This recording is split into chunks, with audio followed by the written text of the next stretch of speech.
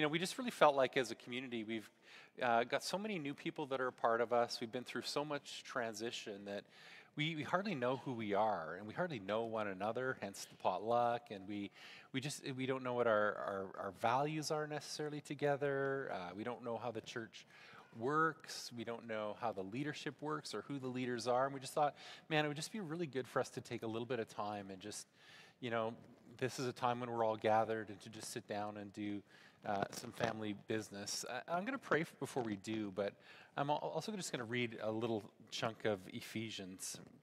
Um, because when we were, uh, you know, at Calvary a couple of years ago, one of the things we felt really engaged with was this uh, a little bit of teaching on just just what the church is and, and how important the church is. And as we, uh, you know, share a little bit about our church and, and what it's about and, and how we're sort of structured, what our values are, um, I want us to be conscious that we're participating in something really big and something that God really wants to work through uh, in the world.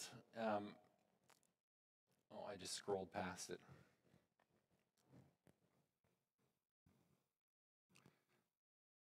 There we are. So this is Paul talking about his calling and talking about the church and, and just sort of saying, get, get ready, I'm going to reveal, God's revealing something to the world. And he says this, he says, it was given to me to preach to the Gentiles the unsearchable riches of Christ and to bring to light. So this is his purpose. He's, he's called, this is the apostle Paul, called to preach to the Gentiles, right? And bring the gospel uh, to the whole world. And then here's his other purpose, which it seems like how like this is this is significant, right?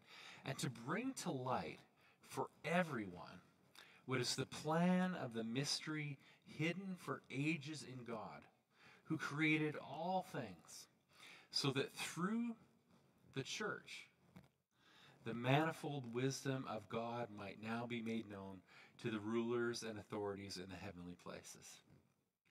This was according to the eternal purposes that he has realized in Christ Jesus our Lord. And so it's like whatever we are as a church and, and however we express ourselves in our region, we're part of something that is meant to uh, really reveal the wisdom and grace and beauty of God to the world. And so, uh, as, as we as we've wrestled through, you know, what it is to be a church and how we do leadership and all of these questions, we, we've recognized that it's that's a pretty significant project and, uh, and, and we're our, our, hope, you know, and we've made lots of mistakes, and we'll continue to make lots of mistakes in it, and we don't have the answer on uh, what the church is supposed to be uh, ourselves contained within this body. But as we uh, bring all of that stuff forward, we just want to really say, sort of humbly before the Lord, we, we want to come in line with your purpose and, and be a church that glorifies you and that reveals you to the world. And so let's just pray about that for a minute. Lord, we thank you for this body, this infinitesimal, infinitesimally small uh, fragment of, of your church worldwide. Uh, we recognize that we are very small, but we also recognize the significance of what this church is meant to be to our region. And we pray in, in alignment with Ephesians uh, 3 that we would be a people who would uh, reveal the manifold wisdom of God uh, to our to our region. That somehow we would grow to a place of health, that we would be a place of stability, that we would be a place of safety, a place of worship, a place where your glory resides. That uh, when people come into this community from uh, their their workplaces and, and wherever we intersect with them, Lord, that they would see uh, your wisdom, your grace, your beauty in us. So would you form us and would you shape us and help us to be uh, that to you and to your world? We pray in your holy name. Amen. Amen. So, for those of you that don't know our story, uh, OVC uh, began in 2004. Um, at that time, it was called Ottawa Valley um, Vineyard Church, and we remain a vineyard church this day. But we began in 2004. Um, we, Anna and I, uh, as as a couple, as pastors, we'd had a dream to uh, plant a church in Carleton Place that we really retained all the way through high school. Um, actually, right here in the cafetorium in in Carleton Place High School, which was actually down the hall where the kitchens are now, we um, had a inter-school Christian fellowship group that we were, were part of in this building. In when I had this calling experience when I was 17 years old. Uh, Craig was a part of that community, and others were a part of the community. And we um, gathered uh, almost every morning to worship before school and pray. It's where I learned led worship for the first time. I felt like we should do worship, and I got a guitar that was about 150 dollars and sounded terrible. And I learned three chords, and I led worship the next day. I don't know if Craig and Amber and Anna remember how bad that was, me howling it out like down the hall, echoing. She does actually remember, you know, out of tune and singing loudly and singing badly. Brent was a part of that. Um, and, and so this is actually the second iteration of church in Carleton Place High School uh, for me. So we've had this vision to, to reach the community of Carleton Place for a long time. My wife and I moved away and had ventures all over the place in New York and New Brunswick and Saskatchewan and uh, came back eventually to plant this uh, church in, in Toronto in 2004. And as we uh, planted the church and, and, began, we it was a very very small plant in the sense that we didn't really have any funding. It wasn't like a well-funded denominational plant coming in with a $200,000 budget for our smoke machines and light show and all of that kind of stuff. That was uh, that was not how this plant uh, plant went.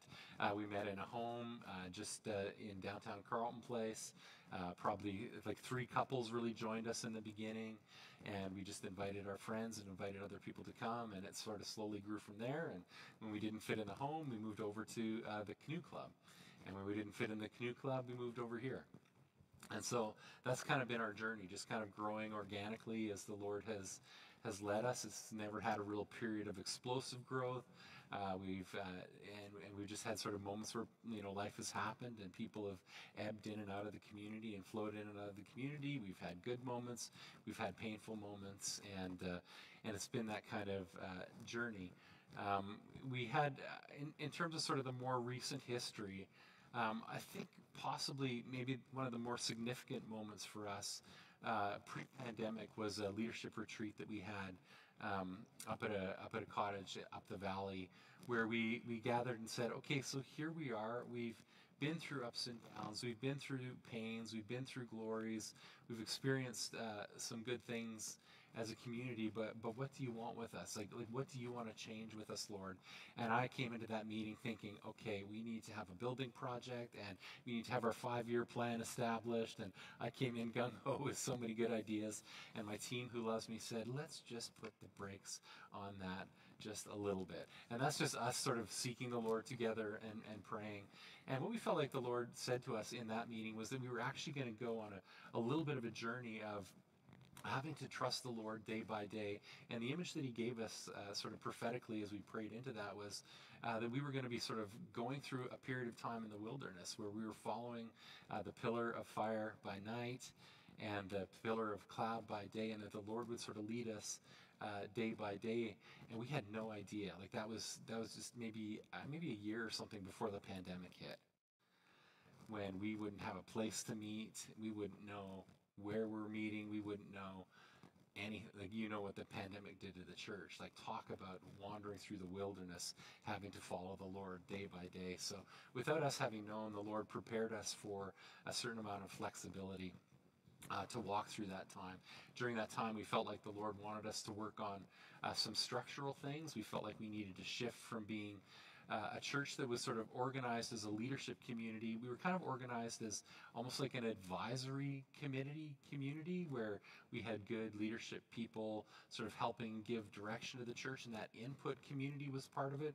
And we need, but we needed to transition to a community that was more of a true spiritual eldership where we really bear the spiritual weight of care.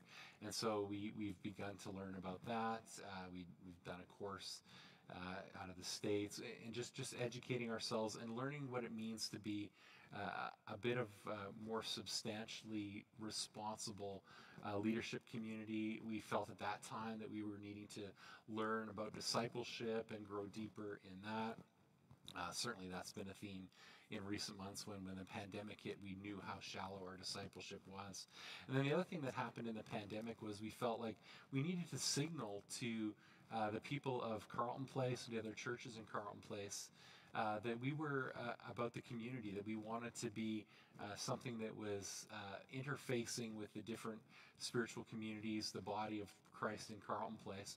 And so we laid down our denominational banner, retained the denominational association. We're still a vineyard church, but we decided we would we would be called Ottawa Valley Community Church as a way of kind of being that first church in the community sort of lay down our flag and say, okay, we, we want to build the church in Carleton Place. And that was our, our heart to do that. And part of what inspired our journey with Calvary, wanting to build that partnership there. And obviously, you guys know the story of, of that and how, how that, that didn't work out. We can talk more about that later. But uh, for us, uh, we, we still have these amazing partnerships with different churches. We run the youth program that most churches in the region participate in. Uh, churches from uh, the region also participate in our, our children's program on Wednesday nights. And we, we, we've just grown in our ability to interface with the broader body of Christ. And so here we are. We've been through this transition at Calvary. Uh, we've come back to the high school with all the flashbacks and all the logistical challenges that you guys see on a weekly basis. And, and, and in terms of a state of the union, in terms of the current moment in our story, uh, I would say that we are slowly regaining our feet, but we're still a little wobbly. Does that seem safe to say? Anybody feel still a little bit wobbly? I, I think that's the reality as we as we've come out of that uh, that period of time with Calvary and and coming into a new place and rebuilding all of our uh, volunteer teams and and it's just I think after so much transition coming through the pandemic, uh, coming through this you know merger that didn't work, we came out of that kind of exhausted and tired. All of the work to transition into this place, and I don't know about you guys, but for me, I just feel like I think nothing crazy is going to happen for a short while. I think we can we can kind of look at our structure again. We can begin to you know build up leaders. We can begin to function in a way that uh, that will allow us to just stabilize the body. And so that's why we're having this meeting is so that we can stabilize the body and and build cohesion and get to know one another and uh, explain all of that. Um, as I said before, we are a vineyard church. Um, how many of you are familiar with what the vineyard is? So, so not very many of us. It's one of the reasons that we actually uh, rebranded is because when you say to people, "I'm from Ottawa Valley uh, Vineyard Church," uh, people say, "Vineyard, Ottawa Valley Vineyard. Like, is there a wine tasting we can attend?" And why is there only wine tastings on Sunday morning? And I didn't even know you could grow grapes in Carleton Place. Um, so it, just from a brand confusion thing, we thought, oh, let's just lay that down and just sound like we're a normal church for a while. But we are part of uh, the Vineyard. It is a denomination. It uh, began in California really um, in the 70s and sort of grew from there. There are vineyard churches all around the world um, and vineyard churches in Canada, very small in Canada. There are about 52 vineyard churches in the nation uh, scattered around. I think there are 52 Pentecostal churches within 100 kilometers. So we're very, very small by comparison. But we have a national director, a guy named David Ruis. How many of you met David Ruis when he was here uh, in the spring. He was here to visit us. A regional overseer, a guy named Peter Weeb.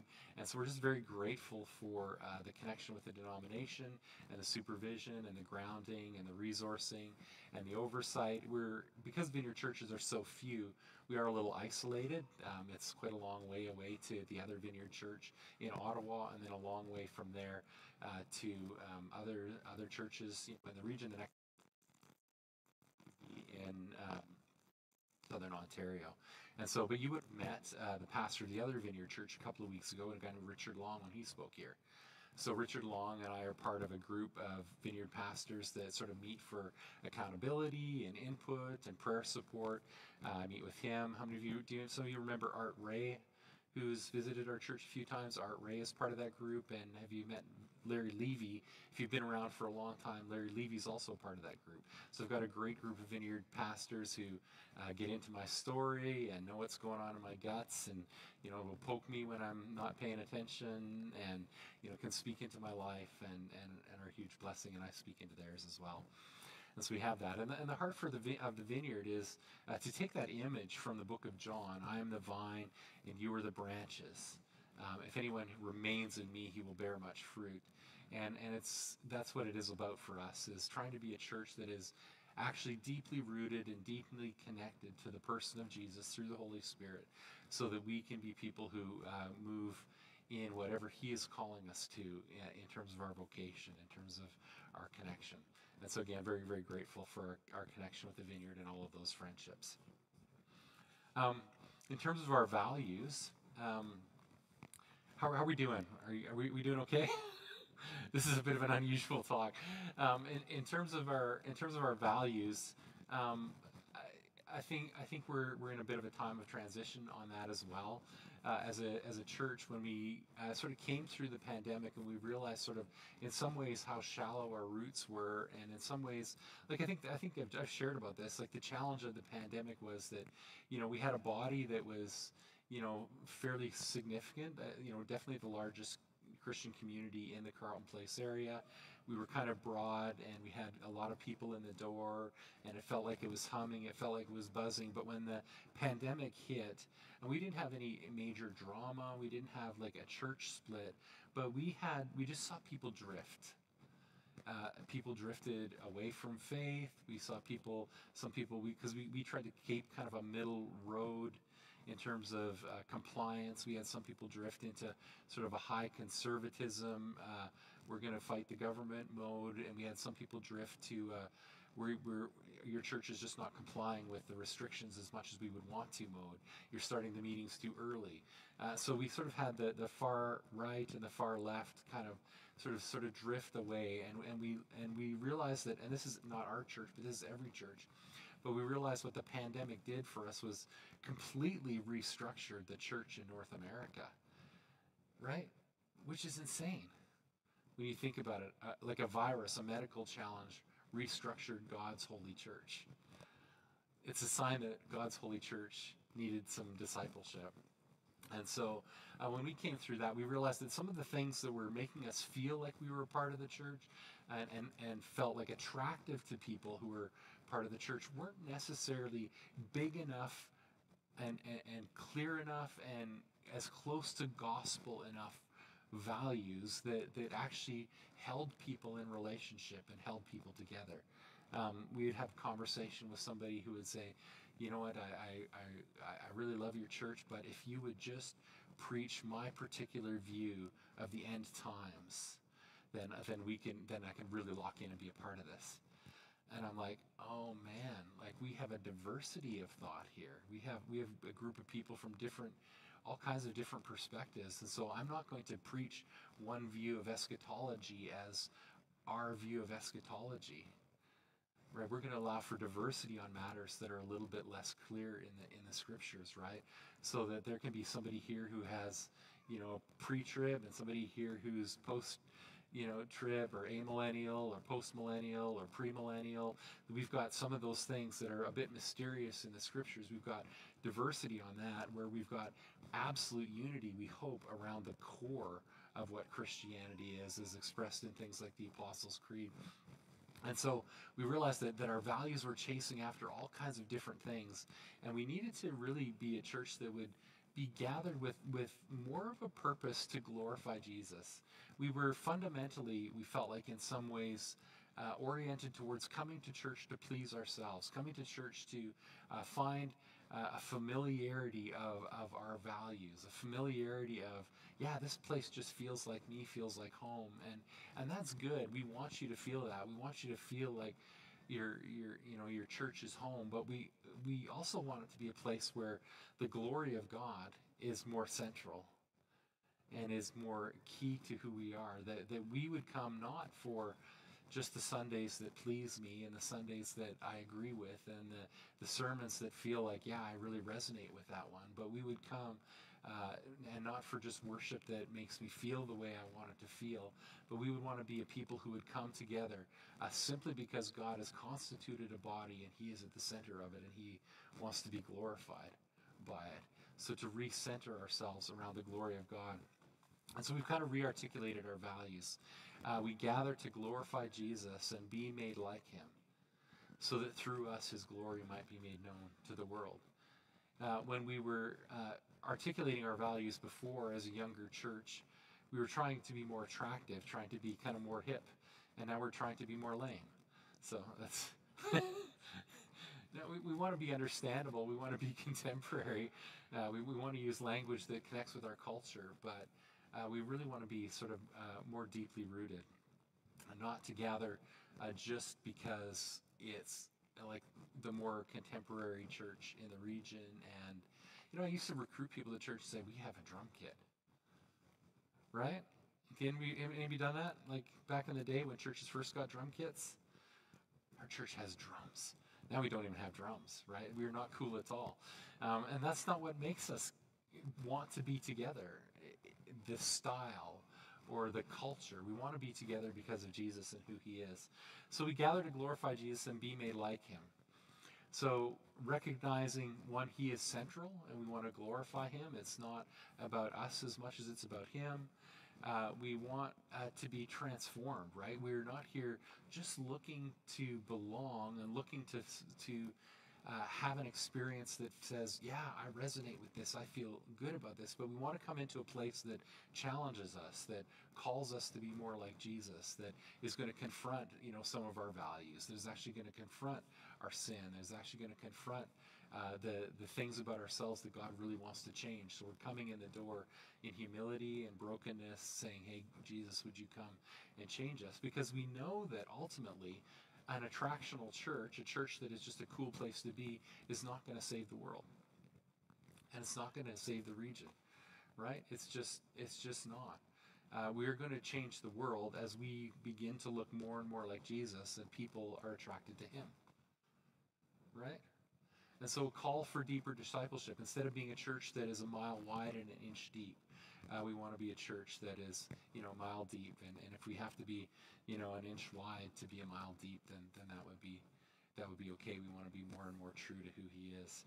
Uh, because we know that ultimately that's where success of being a missional church will be. Uh, if we're a safe alternative to a broken and shattered world, uh, people will come and they'll find Jesus and they'll they'll find they love him.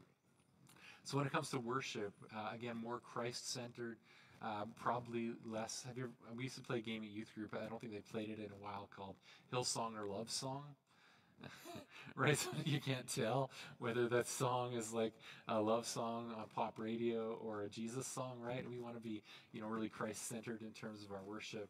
We want to worship be gospel shaped so that we're coming in and actually tracking with the gospel, that we're coming in and yeah, we're, we're sinners with messes in our lives. We come uh, to have Jesus uh, interact with us. We want him to reveal our sin to us.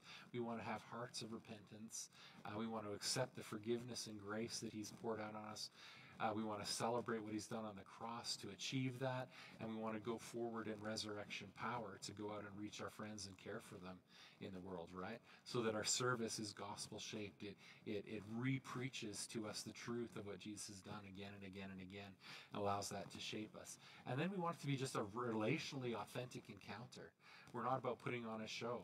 I mean, if, if smoke machines will help that at some point, we will get the smoke machines, but I'm pretty sure that's not really what we're after, right? We want the presence of, and power of the Holy Spirit in the house so that when when we're here, we know that God is manifestly present and we are interacting uh, with Him, with His power, that He is speaking to our hearts. He is revealing Himself to us. And we know that life isn't always like that. We don't always um, feel it. We're not always vibing it.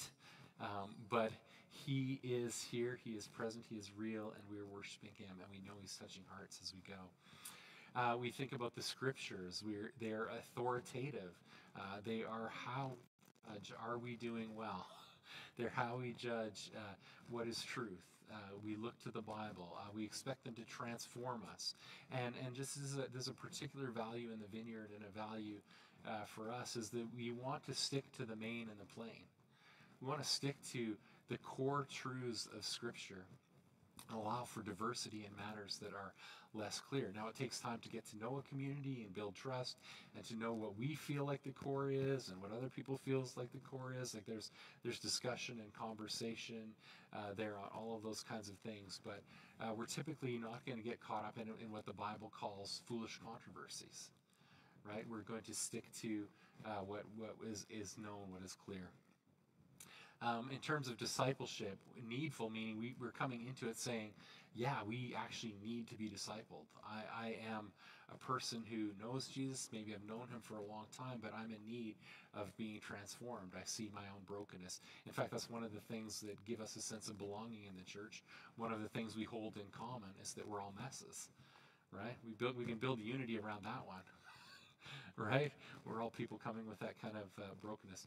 By holistic, I mean like it. it uh, discipleship needs to be cognitive Bible learning.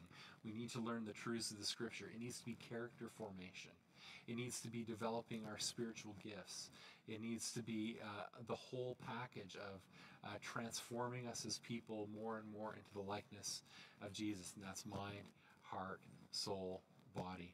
Um, so that's the whole deal. God wants to, to reach us, reach all of us. It needs to be intentional and purposeful. It absolutely has to be empowered by the Holy Spirit. And discipleship really happens in community, right? We need people in our lives, iron sharpening iron, uh, deep relationships of trust where when we hit moments that are difficult, those teachable moments in which we can be discipled are, um, are are, are known by the community and people can, can speak into our journey. We've been t- talking about that for the last few weeks. Uh, our, in terms of another value, uh, Holy Spirit, we want to be empowered by the Holy Spirit. Uh, we're a charismatic church.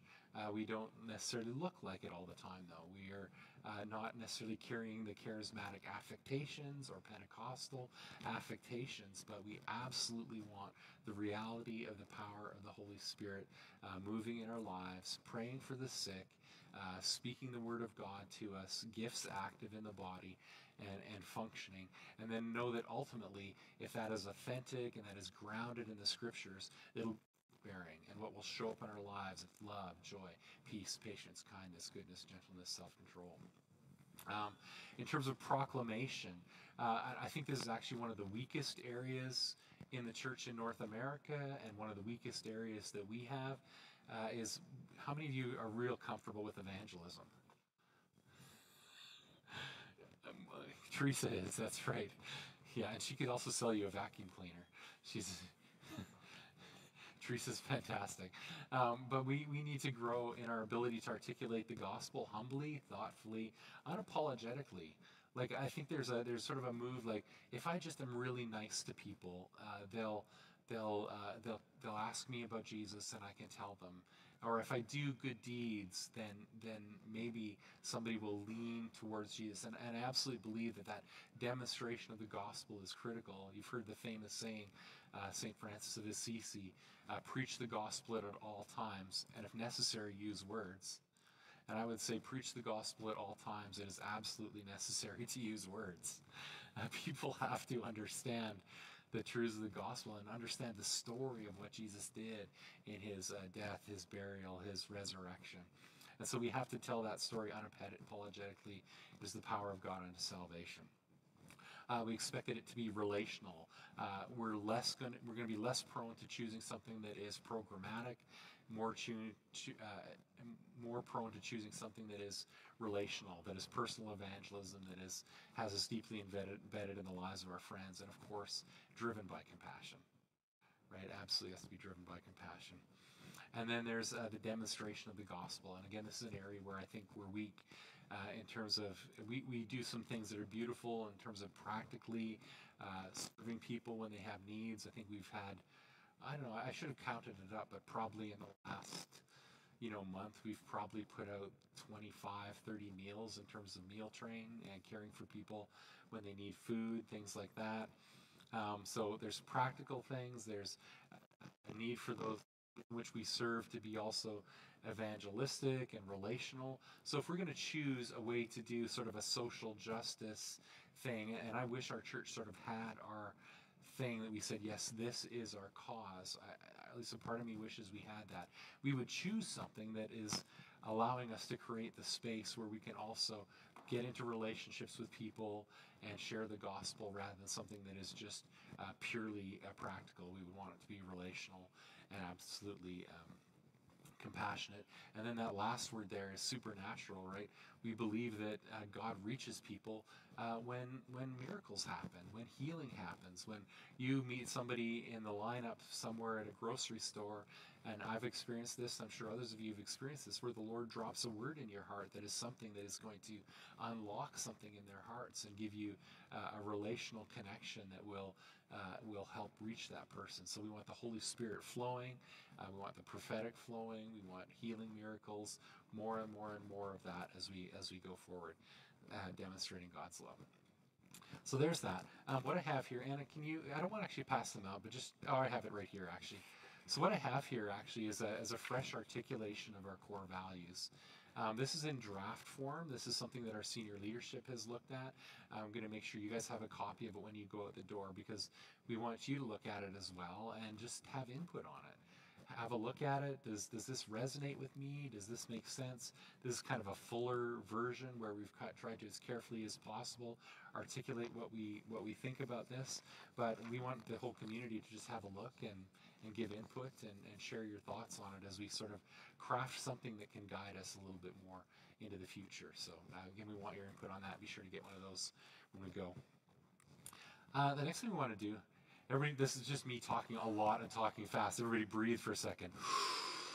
In with the Holy Spirit. Out with the devil. In with the Holy Spirit, out with the devil. Yeah. So yeah, we just gotta breathe. Whew, we're going fast. Everybody hanging on? We're doing okay? Okay, this is this is un- unusual. I promise you'll get a real sermon next week. Um, so just introduce our leaders, and can I just get members of our senior leadership team who are here to stand up? There'd be Anna, and there's John is there, Warren and Leanne, Simon, Kathy standing at the back, Brent is there as well. And so these would be the people who would be people who would have sort of that you can you guys can be seated who would have that sort of eldership function in the community. And th- those roles are shifting a little bit. Um, in the past, we've even used language like senior leadership community because I, I felt like when we planted the church that we didn't really know what eldership was. We didn't really. Um, like I didn't want us to just say, okay, we have in our constitution, let's put elders and let's just check the box and fill it with people we think are, are elderish. We wanted to really own like a deep, deep sense of responsibility uh, coming from the scriptures. And so we've been trying to grow in that and trying to learn and trying to lead. But this is the core group of people that you can talk to and that I talk to that that really sort of uh, bring uh, the input of the community into conversation and care for the community in, in really practical and loving ways. And again, we make mistakes and we hope to really grow as a team. Um, and we know that team also needs to be expanded. It's been really healthy and helpful over the pandemic for it to be quite a small and tight team because we've had to be so nimble. Uh, but as we're uh, able to be a little bit more stable, we can sort of expand that team a little bit. So we're thinking about how that can happen the days to come. But that's sort of our, our eldership component. Uh, you can talk to them about anything. There's high transparency uh, between us. Um, they will not talk about uh, each other or me behind your backs. Uh, they will they will telegraph what you say to them to each other, and we will talk about it, and we will will navigate um, how things go. Um, and then we have another uh, leadership, which would include the, our types, people that sort of lead uh, ministries in the community. And so, could you guys stand up? There's Barry is at the back, um, and uh, where is yeah, Kathleen is, is doing the, Barry just loves that. Yeah, Kathleen is doing um, the greeter team. Uh, I'm sort of overseeing the worship community temporarily until we find somebody who really wants to own that portfolio. Does children and youth. She's part of our staff team. Um, and uh, I'm probably missing somebody. Uh, Seth and Aaron. Erin does our communications, uh, and she's she's part of that team and manages media. Oh, there's the coffee team. There's Tanya. Tanya's here. Did you stand up, Tanya, or did I not? That's, yeah, it's your fault that I didn't notice you. no, it's my fault totally. Um, yeah, so so Tanya manages that hospitality team, and so those are sort of our, our volunteer uh, team leaders, and we're just continuing to build into them and, and continuing to grow. But if you want to participate in ministry of church, you can speak to any of them and they can and they can direct you or any of us. And then there's our staff team. Uh, so Kathy stood up; she's waving at the back. Kathy does children, youth, and uh, sort of oversees a whole bunch of stuff that she wished she didn't have to oversee, um, but she does a phenomenal job. Uh, we also have Erin, who works for us as a contractor. She's not here this morning, um, but she oversees the media team and she does all of our graphics and communication and web. Uh, we also have Linda Sprunt, who is, is a contractor who works for the church, and she does um, all of our books and manages the finance side of things. So she doesn't attend this church, but she's she's on our team as well. And of course, your trustee, senior pastor, is sitting in the hot seat today. So yeah, so that's that's sort of what our, our team of leaders looks like.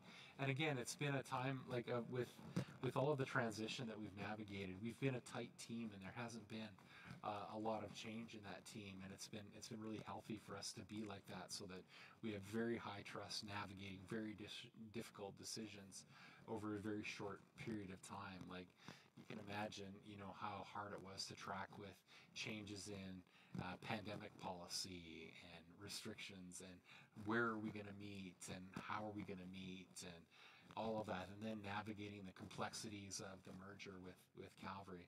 And so now, as we sort of got our feet to the ground and things are a little bit more stable, uh, we'll have an opportunity to sort of grow and develop that team. Our hope is to engage uh, some younger leaders. Uh, we're all got a little bit of this in our in our beards, which isn't a, isn't a bad thing, um, but uh, but we, we need to really develop the next generation of leadership in the church, and we're pretty passionate about that. Um, at the same time, wanting to actually take the qualifications for what it is to be a leader in the church and actually raise them. We want to actually grow as grow as people, and so there's that uh, high sense of res- responsibility that comes along with that. Uh, in terms of our structure, um, we are. Uh, this is. I don't know. if Some of you care about this kind of thing, and some of you don't. Uh, there are two ways of structuring a church in the province of Ontario and in Canada. One is uh, to be a uh, religious society, and the other is to be a not for profit corporation that's registered with uh, CRA. And so we're a not for profit corporation. So we have that structure, we have a board of governors, and uh, we're, we're structured that way, and that team relates uh, to who we are to the government um, we have a couple of other sort of uh, resourcing organizational things alongside of us. Uh, we're a member of the Canadian Council for Christian Charities.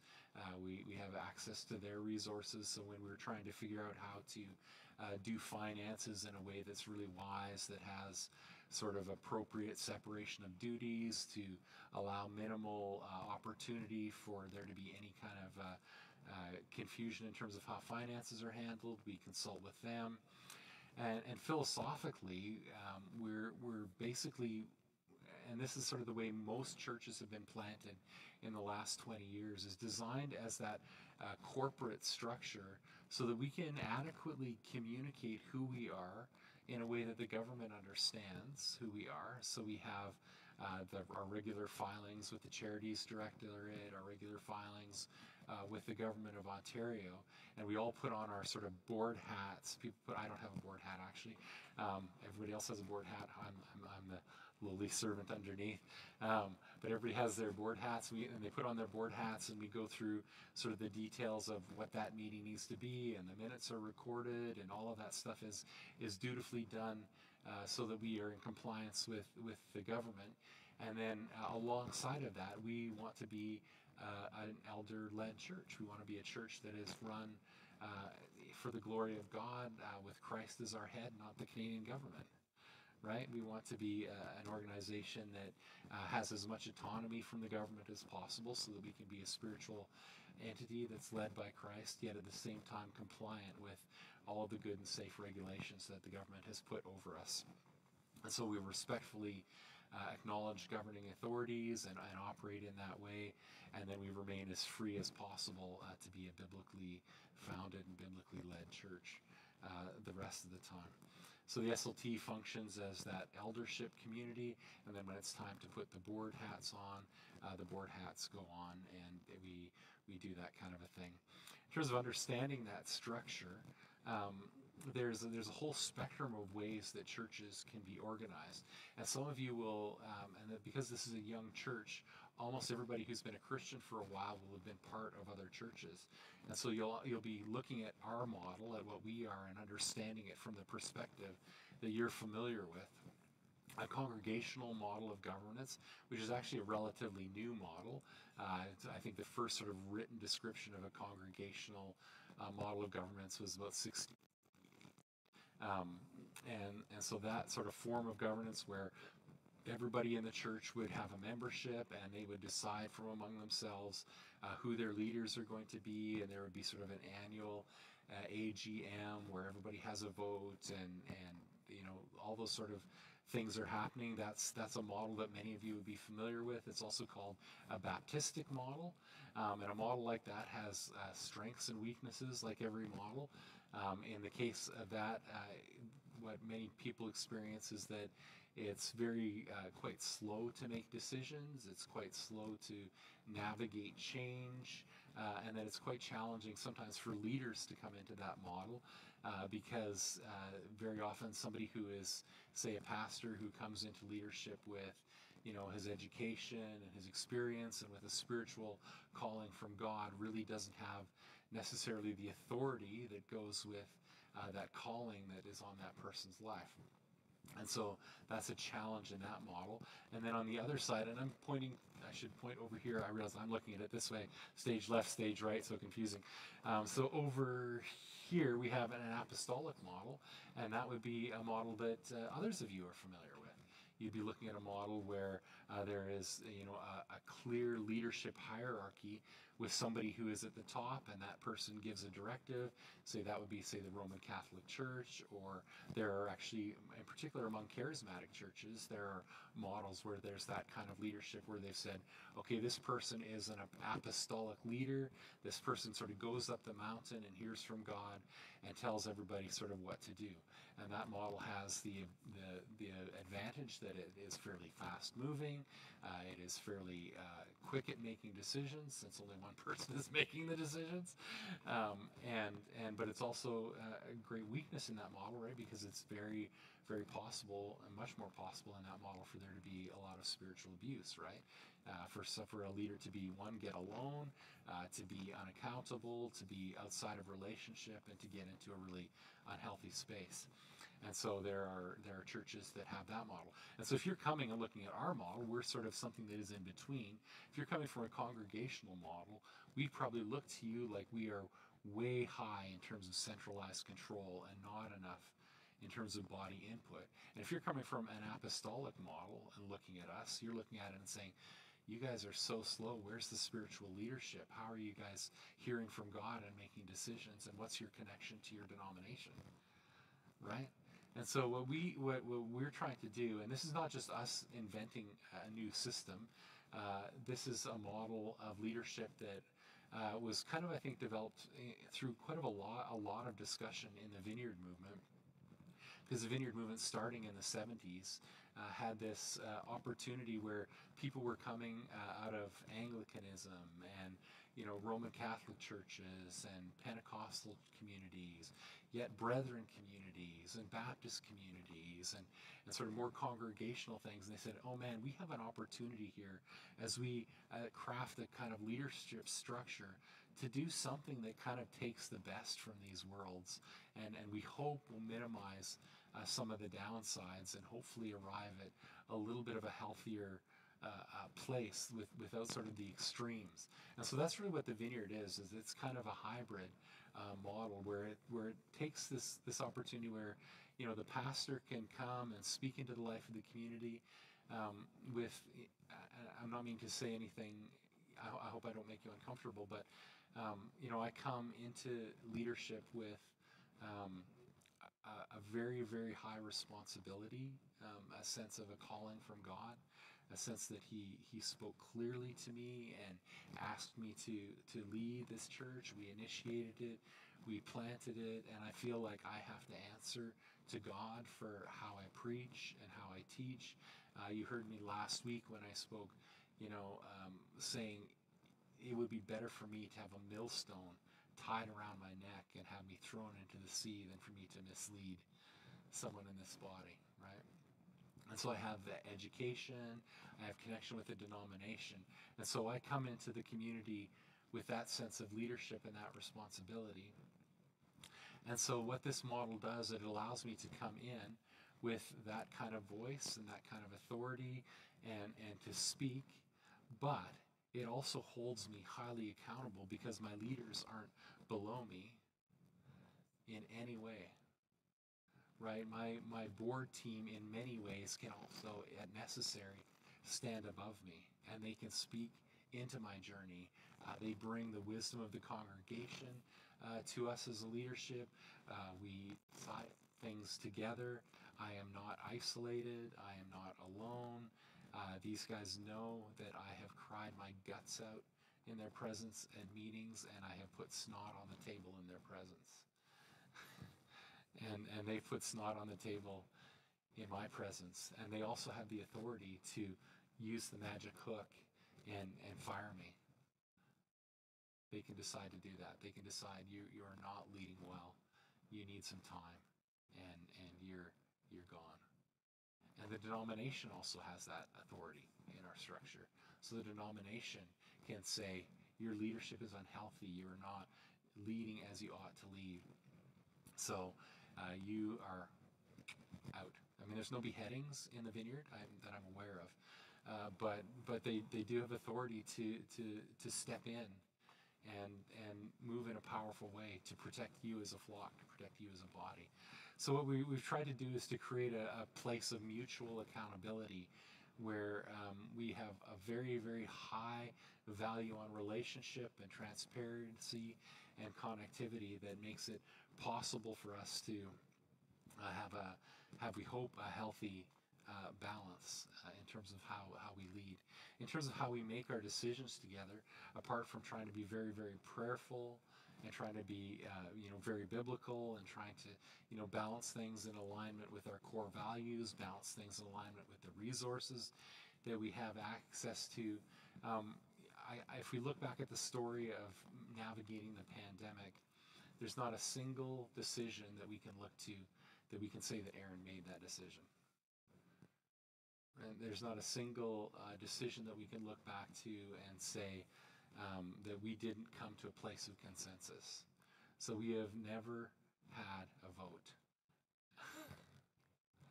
where we've said, you know what, there's uh, uh, this many of us that are in and the rest of us that aren't. We've come to a place of saying, let's come to the Lord together. Let's seek the Lord together. Let's listen to Him together. Let's listen to the body together. And you'll be familiar with that through the uh, through the pandemic uh, and through the the uh, time at Calvary, we would call a congregational meeting and we would call you guys up and ask you questions, and you guys would give input on us um, so that we would really know what the will of the body is, know what the needs of the body are. Sometimes we have to make decisions that uh, people are uncomfortable with, that people uh, don't don't like, but we navigate those things in relationship um, and the mechanism for input we feel is, and this is something that John Wimber used to say about the vineyard, is your mechanism for input is much, much richer than an annual vote. Your mechanism for input is a phone call. And if you think about how, like this decision to make, to have this meeting, um, I, I, was not thinking about having this meeting. Um, I, I like, man, we are just stable. I can't wait to get to Christmas and we're going to have a nice Christmas together as a church. We have to navigate no changes, no whatever. And Tom said, you know, like those meetings that we used to have uh, when we uh, were trying to navigate things in the in the pandemic, or when we are sorry, we didn't have any meetings in the pandemic. We were trying to navigate things in the merger. We should just get together and we should do that again. So this wasn't even somebody on our leadership community that basically called this meeting, right? So that's the kind of input that we have. If if if the body has a good idea, don't hold it back. We, we want to hear it. We take it as leaders, we discuss it, we discuss it with you, we consult with others. Sort of the more significant the decision, the broader the consultation. Um, and we, we do so much of this stuff uh, really relationally, really connected in that way. And what that creates, generates a, a great big pool of resource, a pool of input, a pool of insight uh, by which we, we guide ourselves. So, the absolute critical uh, mechanism for us as a church is our dialogue, is our conversation, right? So, so we've, for the most part, as a church, avoided you know, I, I've been in churches where, you know, there are like a congregational meeting, and I've literally seen a guy stand on his chair and say, Stand with me, stand with me. And a guy over here, No, stand with me, stand with me. You know, we haven't had that kind of that kind of conflict, that kind of challenge as a body, but we, for the most part, we've been able to navigate things relationally and organically. Not everybody has been happy with this church. Not everybody has loved the decisions that we've made, but uh, we, we, for the most part, feel like we've been able to come through most of our decisions and, and be able to say what it says out of Acts um, 15 uh, 28. Um, they're there at the Council of Jerusalem and they're trying to decide, you know, what kind of uh, guidance do we give to the Gentile church as it emerges in Asia? And they say, this seemed good to the Holy Spirit and to us. And so that's what we want to be as a leadership community, and that's what we want this church to be. When we make a major decision, when we try to decide how we're going to navigate or what we're going to do, we want to be able to say, This seems good to the Holy Spirit and to us, and to have really a high degree of consensus. And we made some really hard, really fast uh, decisions throughout the merger process. Uh, I came into that process uh, with what I brought as spiritual authority, uh, with probably reading close to two or three thousand pages of Pentecostal literature on baptism of the Holy Spirit and baptism in tongue or, or in the gift of tongues. And I came with uh, you know a stack of commentaries in my office. Uh, I came with my degree. It came with my relationships with the vineyard and our discussion with them. And I brought that to the table. And then you guys brought your part to the table. You met with us at congregational meetings. You picked up the phone when we called. You called us when you were concerned. And we came out of that decision to not uh, pursue the merger um, and to come back into this place, basically being able to say, This is really, really hard, but this seems good to the Holy Spirit and to us. And, and so we, we hope that as we do this, as we build dialogue, and our structure will shift and change. We may do a membership thing at some point. We don't know. But as our as our uh, dialogue continues, we, we just really trust that the Holy Spirit is in it. And so we really, really like this does not work if you guys don't speak. This does not work if you guys don't pray. This does not work if you guys don't share your concerns and your ideas. This does not work if you don't read my emails. so we, we try to do as much as we can to communicate proactively um, and, and, probably not enough for some of you, and probably too much for some of you. Um, but but as, as much as you guys can hear the heart of the, the community, and we can hear your hearts, uh, we can navigate in a way that is that is sort of a healthy middle road between that sort of strict congregational style of government and some sort of pope, some sort of popedom, which I wouldn't want anything to do with. So, uh, yeah, uh, that's that's sort of how we're at. Uh, in terms of our in terms of our finances, um, we sort of follow the principles laid out um, by the government of Canada. We take counsel, as I said before, from the Canadian Council of Christian Charities.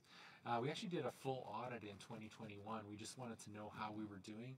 Uh, there's a certain certain threshold for charities where a, where an external audit is required, and we were quite a bit under that, so we weren't required to do an audit, but we wanted to have one done, so we had to open up our books to an accounting a company and they said, "You guys are crazy, but we're happy to charge you around four thousand dollars for this." Um, but we we really wanted uh, to know that we were doing well, um, or if we were doing well, or if we were doing anything wrong. And they they gave us kind of a clean uh, bill of health and said that we're going above and beyond in terms of responsibility. Um, you know, keeping separation of duties and the way that we sort of manage finances to keep everybody uh, hands clean and to just keep everything uh, really healthy. So we've just just tried to follow really really good good principles in terms of our financial governance. This is just a really quick snapshot of our finances uh, right now. Everybody hanging on? You doing okay? We're close to the end. This is crazy. Everybody's like, I can smell the meatballs. Get me the heck out of here. This is so boring. Um, so uh, yeah, so in terms of what we budgeted for the year, we're about two hundred fifty-one thousand, and again, we're only partway through the year. Uh, what we'll do is we'll actually do, and it's something that we haven't done since before the pandemic, is we'll do like a proper, you know, financial meeting in the spring where we can we'll put a copy of the the documents in front of you, and you can go through it line by line, and we'll talk through all that stuff. But roughly budgeted about uh, twenty or two hundred fifty-one thousand dollars for the year. Um, in terms of um, we knew that the transition with Calvary, um, even if we stayed with them, was going to cost uh, something beyond what we felt like we could see in terms of revenue coming from the congregation. Um, at that time, we have a fairly substantial pot of savings. We had about $125,000 in the bank when we sort of began that process. So we knew that we would have to do things like set up new sound system, buy computers, uh, agree to a rental agreement with CPHS. Uh, we did all kinds of things like play, paying for cleaners for Calvary. Uh, there was a little overlap in rent. We continued to pay them rent for a little while after we left as a blessing to them. Just other little things like that. We, we, we just knew that this transition would cost something. So we figured it cost about $24,000 again for gear and expensive sound equipment and all of that kind of stuff. And we depleted our, our surplus uh, by that. Our, our giving year to date is about uh, $210,000. That's as the end of October. Um, so that's right in line with kind of what we'd expected. If we continue through at that uh, trajectory through uh, November and December, we'll arrive roughly at that $251,000 budget, having uh, gone into our savings by uh, that $24,000. So that's just a, a, pretty rough guesstimate of what it will look like. I think I, think I put that forward to the congregation as a challenge. Uh, if you wanted to to give above and beyond and and dream about helping us to to pay all of those transition costs within this fiscal year, I think that would may be amazing for the body uh, to rise up and, and to help us do that. But we do keep these uh, these savings on hand for transitions and challenging times like this, and so that's what those funds were for, and that's uh, that's what we ended up doing with them. Um, the only thing to say to that is um, this place in the high school isn't secure. we don't have a booking yet for Easter, right? So we are at the mercy of the board. It's a wonderful location, and we we do dream that someday the Lord would have a home for us that is is more secure and solid and uh, uh, a ministry facility that would allow us to do a number of different things, in particular outreach programs that are really tricky to do without us having a, a physical space. And so, um, the more resources we have, the more able we are to look at opportunities if they come. If we had an opportunity with a great lease space, having a bigger chunk of money in the bank that we could feel confident uh, to move with, that would be hugely helpful for us or if we saw, oh man, we, we really, we're burning out uh, our staff people, we really need to bring in another staff position to know that we have a, a pool of money in the bank that we can sort of take that risk and, and, and begin to do that is really helpful. So if you guys want to help us um, replenish uh, that, uh, that fund, that would be That'd be very helpful. In terms of where the money goes, you'll see just a very, very simple chart, and you can look at a breakdown in the spring. Um, but about, we figure about 13% of our money goes to missions, about 21% on ops, and 65% on ministry. But those are kind of almost not not quite it's based out of lines in the budget, but almost kind of arbitrary things. So if you look at our ministry, uh, that includes youth and Elevate. Well, 40% of the kids that come to Yell Elevate are completely unchurched kids. So we could take what percentage of Kathy's salary goes into running Elevate and what percentage of the cookies and drinks and snacks and activities she buys and take 40% of that and we could bump that number over into that missions category and say that's actually missions. You know, or we could take, you know, something from ops and say, well, that's really actually really, really directed to ministry. Um, and, and we could we could we could play with those lines a little bit. But I think in terms of getting a sense of where we're at, that's sort of how the funds are used and where they go. And if anybody wants to sit down and have a chat about uh, finance at some point, be happy to have that that conversation. Um, we used to actually just post financials on the website monthly, so there was a financial statement that was just up there every month, and we saw that the click rate on it was precisely zero, so we just stopped uh, doing doing that work. But if anybody wants to see that uh, information, we're very transparent about it, and you can just ask. Uh, and then, just in terms of where we're going from here, where are we going from here, guys? Anybody want to know where we're going? I sure do.